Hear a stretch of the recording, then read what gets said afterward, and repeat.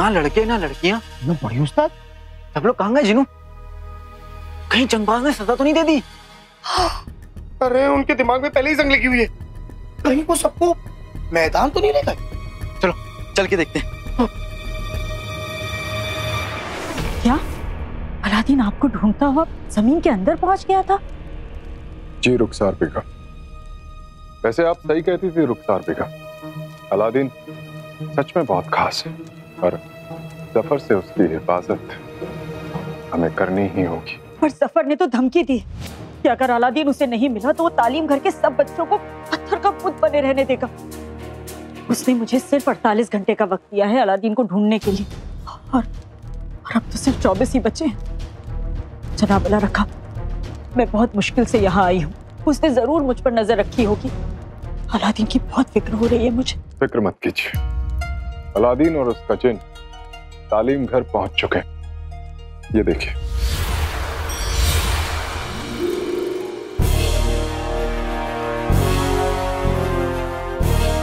या अल्लाह तेरा शुक्र है ये दोनों सलामती से हैं।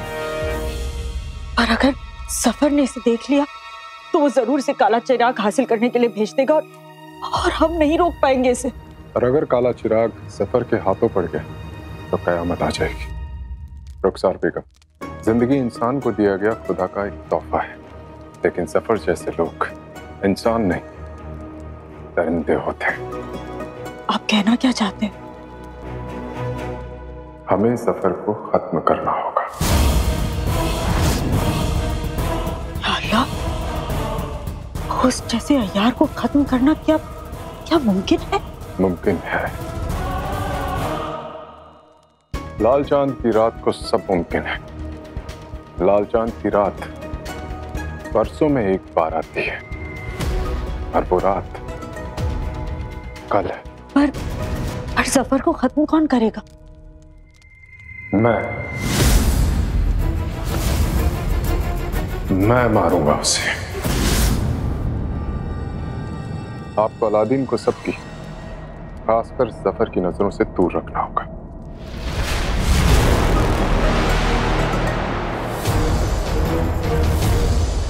जल्दी चलो जीनू मैदान की तरफ़। ये ये दोनों तो उस मैदान की तरफ़ जा रहे हैं जहाँ जहाँ ज़फ़र ने बच्चों को पत्थर का बुत बना रखा है।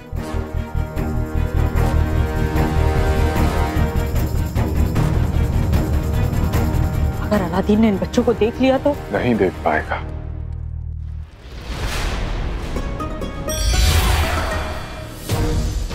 अलादीन! शुक्र है जनाब अला रखा ने वक्त पे मुझे यहाँ भेज दिया। तुम दोनों ने इसे सराय समझ रखा है। है? हमने नहीं आपने? ये हमारा तालीम घर है। यहाँ रहना है तो यहाँ के कायदे कानून के मुताबिक रहना होगा। कहाँ गए थे तुम दोनों? दरअसल हुआ यूँ बड़ी उस्ताद कि हमें गुमनाम दोस्त मिल गया था। जो मैं सुल्तान में काम करने से रोकने की कोशिश कर रहा था। यूँ समझिए जान पर बन आई थी। पर हम कौन सा काम है? हम उसे बेवकूफ़ बनाए और भाग आए। गुमनाम दोस्त कहीं जनाब अल्लाह रखा होलिया बदल कर इसे रोकने की कोशिश तो नहीं कर रहे थे? तुम दोनों हमें बिना बताए यहाँ से गए। कानून तोड़ा। सजा तो मिलेगी। अरे पर चलो।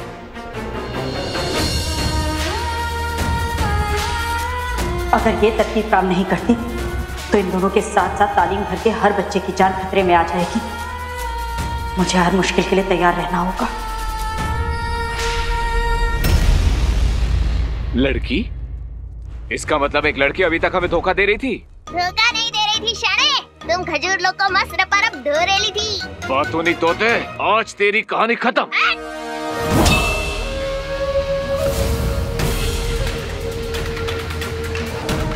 हाथ पीछे हटा लो सलीम शेख वरना मुझे हटवाना पड़ेगा। और मेरा तरीका तुम्हें शायद पसंद नहीं आएगा। एक लड़की होके इतनी ज़ुबान चलाती है?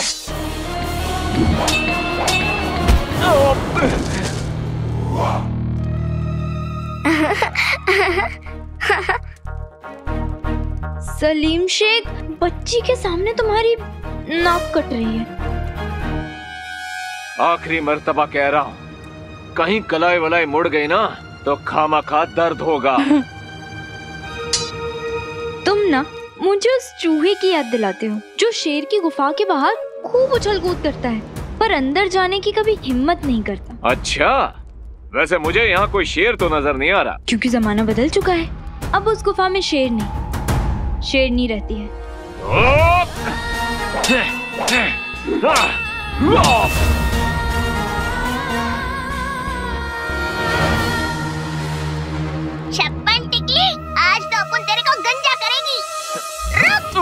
ये ले आया मज़ा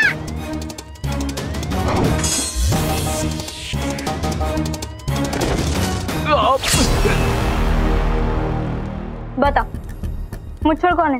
पका मत खजूर फटाक से बोल डाल। अपनी जान दे दूँगा लेकिन गद्दारी नहीं करूँगा हाँ?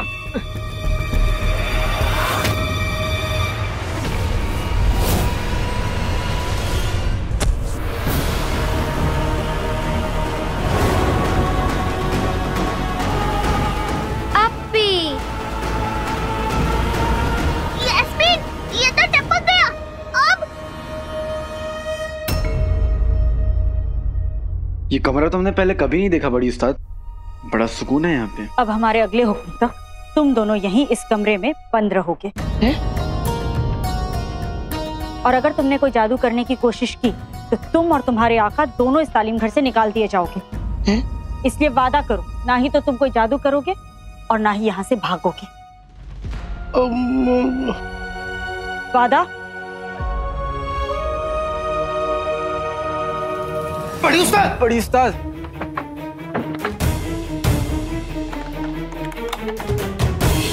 अलादीन को सफ़र को सौंप कर मैं सारे बच्चों को बचा तो सकती हूँ, पर उसके बाद जो तबाही फैलेगी, वो सब कुछ तबाह कर देगी। अलादीन और उसके जिन को अभी मेरे इस खुफिया इबादत के कमरे में ही रहना होगा। यहाँ सफ़र और उसका जादू इनका कुछ नहीं बिगाड़ सकता। और मुझे जाकर जनाब अला रखा से पूछना होगा कि आखिर उनके और अलादीन के बीच में हुआ क्या? पापा बड़ी भूख लगी है। अब पेट में चूहे कूद रहे हैं। हमें भी जीनू। अब क्यों ना मैं जादू से खाना ले आऊँ? बड़ी उस्ताद ने जादू करने से मना किया है जीनू। हम उनकी बात को टाल नहीं सकते। हाँ हाँ जल्दी चल। हाँ वैसे भी ये जगह बहुत खतरनाक है। और हमें सुनहरी को वापस भी पहुंचाना है। काश अलादीन और जीनू भी अभी तक वापस लौट आए हों। बराबर बोली। उन दोनों पीड़ू लोग से मुश्किल ऐसे चिपकती है जैसे चीनी से चींटी। चलो। मुझे वापस नहीं जाना।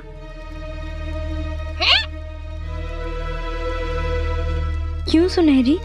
तुम्हें अपने अम्मी अब्बू की याद नहीं आती? उनके पास नहीं जाना? मेरे अब्बू अम्मी और हमारे मोहल्ले के बहुत सारे लोग बहुत बुरे लोगों की कैद में है। क्या? तो तुम यहाँ कैसे आई? अम्मी ने किसी तरह मुझे उस गंदी जगह से बाहर निकाल दिया था पर वो खुद बाहर नहीं निकल पाई। मैं भागी रही थी कि मुझे मुच्छर के एक बुरे आदमी ने पकड़ लिया। वो मुझे यहाँ ले आया। ये लोग मुझे वापस उसी गंदी जगह भेजने वाले थे। मुझे उस गंदी जगह नहीं जाना। मुझे अम्मी अबू चाहिए। अपना घर वापस चाहिए। इस मुच्छड़ का कुछ करना पड़ेगा। अब क्या? हाथ में हाथ रख के यहाँ बैठू? ऐसे तो ना हम अम्मी का सच पता कर पाएँगे ना बड़ी उस्ताद का।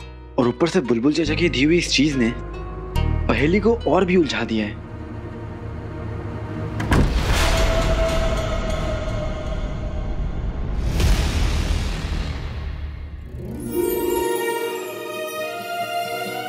सही खेल गए?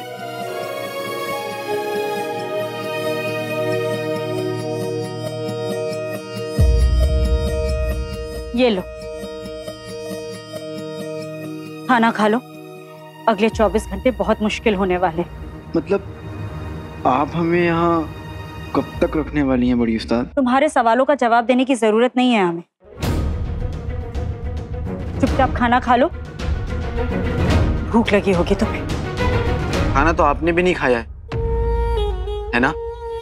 इस लड़के को सब कैसे पता होता है? क्या सोच रही हैं? कि हमें कैसे पता? शहजादे ऐसे ही होते हैं। हम खाना खाएँगे पर आपको भी हमारे साथ खाना खाना पड़ेगा। अरे वाह तब तुम बहुत मज़ा आएगा अम्मी।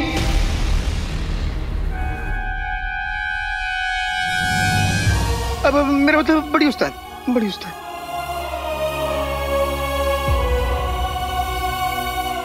आप भी तो कहती हैं कि तालीम घर में सारे बच्चे आपके बच्चों जैसे हैं। तो क्या आप अपने बच्चों की इतनी सी बात नहीं मानेंगी? खा लीजिए ना।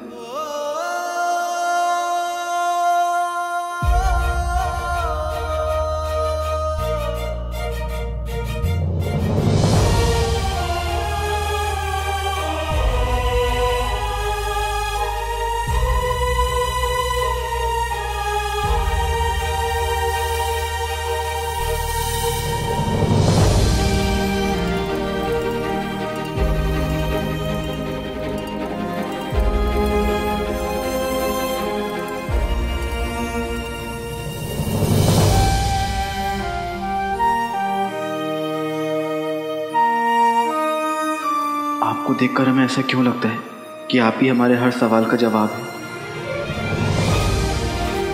मेरे पास तो तुम्हारी शैतानियों का प्यार भरी जिद का जवाब क्यों नहीं होता? इन दोनों के साथ रहते रहते मुझे भी सवालों की बीमारी हो गई है। पेट तो मेरा रोज भरता है। आज खाना खाते हुए दिल क्यों भर आया है? मैं इन दोनों को या तालीम घर के किसी भी बच्चे को कुछ नहीं होने दूँगी। मुझे जनाब अल्लाह रखा के पास जाना होगा। आगे की तैयारी करने के लिए। चलती हूँ।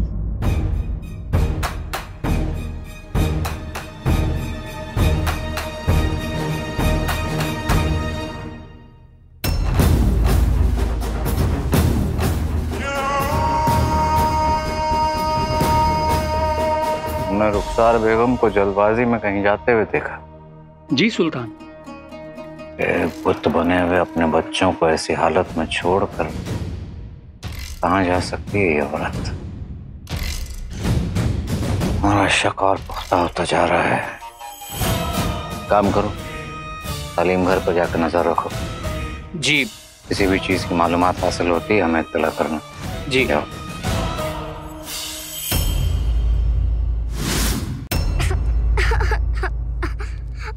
रो मत सुनहरी मैं और चटर पटर हम दोनों तुम्हारे साथ हैं।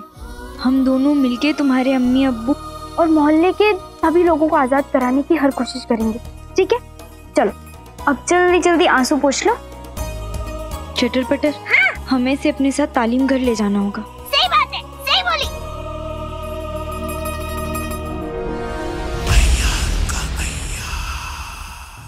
का चलो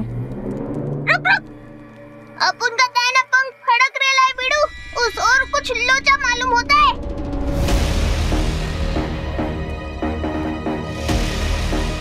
तो हम हम इस तरफ़ से चलते हैं। ठीक है।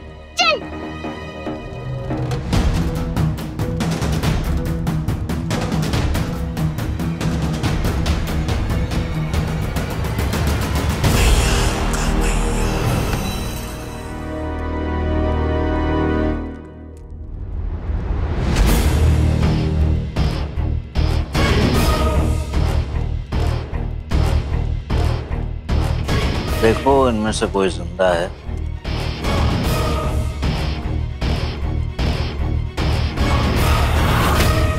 सुल्तान सलीम शेख की साँसें नहीं चल रही। अब हमारा शक यकीन में बदल गया ये सब रुखसार बेगम का कराया हुआ है। इत्तेफाक नहीं बल्कि ये एक सोची समझी साजिश है। रुखसार बेगम की साजिश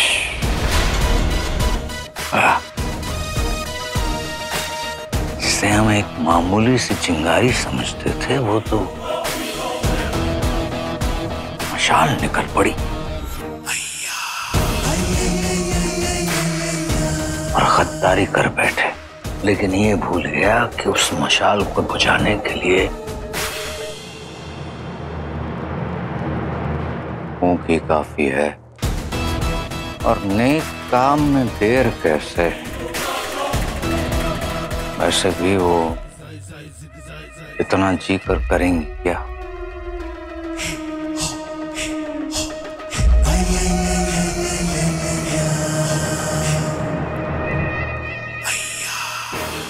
तो तय रहा कल सार बेगम की आखिरी रात होगी।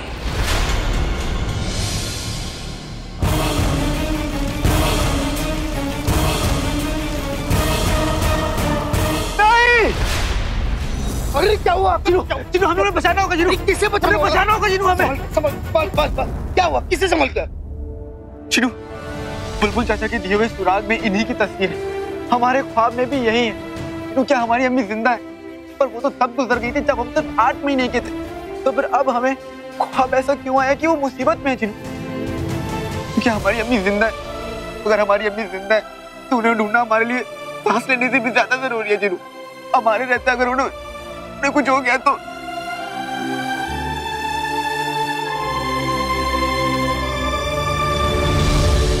तो मैं अपने आप को कभी माफ़ नहीं कर पाऊँगी। आपने अलादीन को उस खुफिया कमरे में बंद कर दिया? जी हाँ पर सफ़र अयार है। अगर उसकी नज़र या उसके जासूसों की नज़र अलादीन पर पड़ गई तो अगर आप सफ़र को मारने में नाकामयाब रहे तो? रुखसार बेगम लाल चाँद की रात बहुत पाक रात होती है। उस रात को सभी शैतानी ताकतें कमज़ोर पड़ जाती हैं। इसीलिए उस रात ज़फ़र को खत्म कर पाना मेरे लिए मुश्किल नहीं होगा। आपको बस अगले 24 घंटे अलादीन को उस खुफिया कमरे में बंद रखना है। बहुत मुश्किल होगा।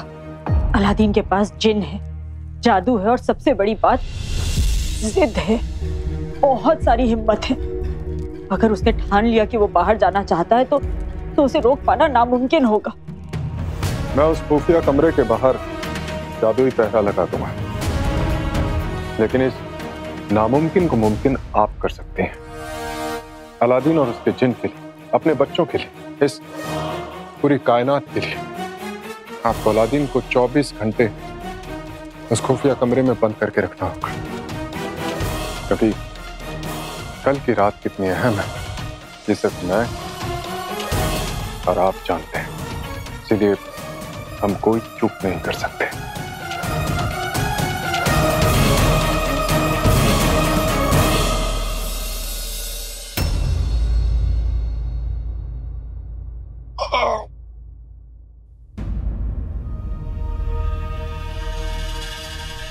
आका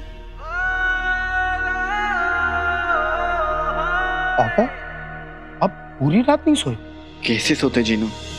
हमारा दिल कहता है जो ख्वाब में देखी वो हमारी अम्मी है। और हमारी अम्मी आँख से घिरी हुई थी। आका अगर आमतौर पे आप ये ख्वाब देखते तो मैं कहता कि भूल जाइए एक ख्वाब ही तो है। लेकिन अगर आपको इतना यकीन है कि ये ख्वाब नहीं बल्कि कोई इशारा है तो तो मुझे भी आपके यकीन पे यकीन है। इसलिए कोशिश करिए याद करने की कि आपने और क्या देखा? मतलब आपने अगर अपनी अम्मी को आग में जलते हुए देखा तो तो कहाँ देखा और क्या उसके साथ कुछ और देखा? याद करने की कोशिश करिए।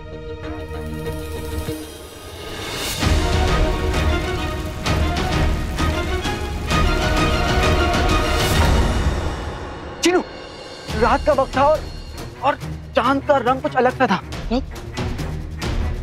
क्या चाँद का रंग? लाल था। सही कह हाँ चाँद का रंग लाल था लाल। ये लाल क्यों था? अरे क्योंकि आपने ख्वाब में लाल चाँद की रात देखी है जो आज है। क्या? हाँ का ये कोई ख्वाब नहीं है बल्कि ये कोई खतरे की घंटी है। कुछ गलत होने वाला है आका। चिनू वो हमारी अम्मी है जो भी है हमें उन्हें बचाना होगा। अरे लेकिन आप कैसे बचाएँगे? तो पहले हमें यहाँ से निकलना होगा। आका अगर आप कहें तो मैं अपने जादू का इस्तेमाल करके हम दोनों को यहाँ से बाहर निकल नहीं बड़ी उस्ताद ने वादा लिया था कि तुम जादू नहीं करोगे। अरे तो उन्होंने ये भी वादा लिया था कि हम दोनों इस कमरे से बाहर नहीं जाएँगे। हम अकेले जाएँगे जिनू और तुम यहीं रोके और तुम हमें रोकोगे नहीं। वैसे भी जिस वादे को तोड़ने से एक मासूम की जान बचती उस वादे को तोड़ना ही सही होता।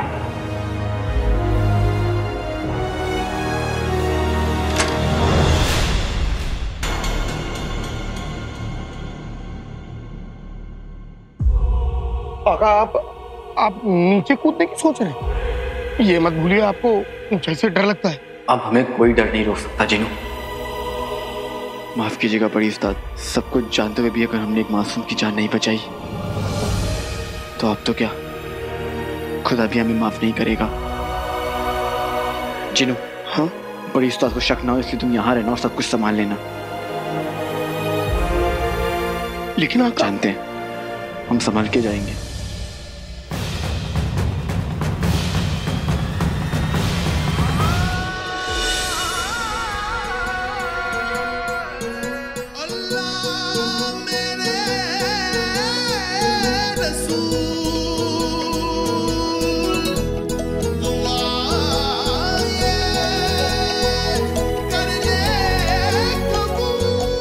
कहते हैं, एक सवाल सारी ज़िंदगी बदल सकता है, इसलिए लोग सवाल करने से डरते हैं। पर हमें डर नहीं, इंतज़ार है कि हमें बड़ी उस्ताद और अम्मी से जुड़े सवालों के जवाब जल्द मिले। क्योंकि वो जवाब ही हमारी बहरा ज़िंदगी को एक नई राह देंगे। सच सुनना आसान हो या ना हो, उसके बाद ज़िंदगी तो आसान होगी। हम सच के लिए तैयार हैं, अब देर ना कर। For more updates, subscribe to our channel, click the show links and enjoy watching the videos.